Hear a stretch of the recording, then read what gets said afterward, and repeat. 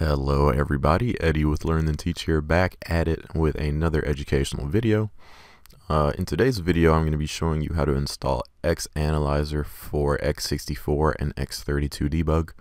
Um, the reason I'm making this video is because in my journey to install this plugin myself, um, it was actually pretty tough. I couldn't find any solid instructions um, as to how, how to install it I'd like to say I'm a pretty computer savvy person, and the fact that I had difficulty uh, getting that plugin installed makes me think that maybe other people have difficulty as well. So I'm going to show you how to uh, do that in this video.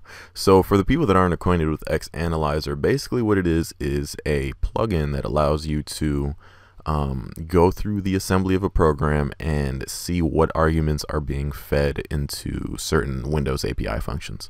So that may sound a little complicated, but let me go ahead and show you what I'm talking about. So for example, you see we got this create file a Windows API function here. And right above it, you see we have every argument that this specific function takes in. So if we go over to the Microsoft page um, where you know the documentation for this function is at, you can see that we we also have seven functions that are being um, or not functions, but we have seven attributes or arguments that are being passed into this function. Um, and so you can see we got file name, desired access, share mode, security attributes, creation disposition, flags and attributes, and template file. And so from our X32 debug window, um, it, it actually goes in reverse order, right? So file name is the first argument. The desired access is the second argument. The share mode is the third argument. Uh, creation disposition is the fourth argument, and so on and so forth. So this plugin basically allows you to, you know, just receive a, a, a way better understanding of how your program actually functions in terms of you know what functions are being called and what arguments are being passed to those functions. So without further ado, let's go ahead and get into the installation part of the video. Um, the link for this page will be in the description. You're going to go ahead and download apis underscore def.zip as well as xanalyzer for both 32 and 64 bit.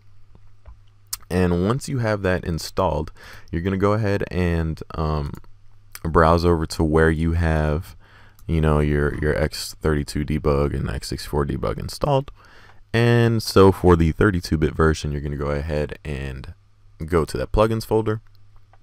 You want to extract apis def into an actual folder. Make sure you don't extract each individual file into the plugins folder. Make sure it's in its own specific folder.